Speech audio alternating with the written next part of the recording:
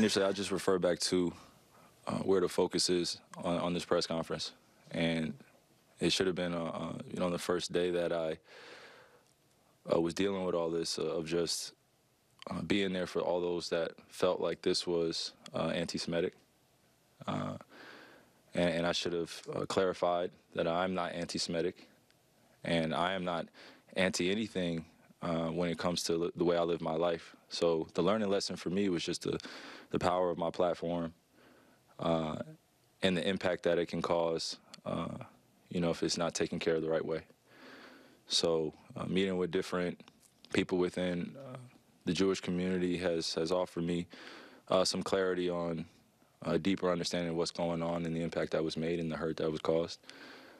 Uh, and that's why I'm here apologizing, um, you know, because I felt it was it was necessary in my heart to extend the olive branch, the invitation to let everyone know, not just in the Jewish community, but all races in our world, that uh, I'm here to listen and I'm here to stand with you uh, against, um, you know, any issues that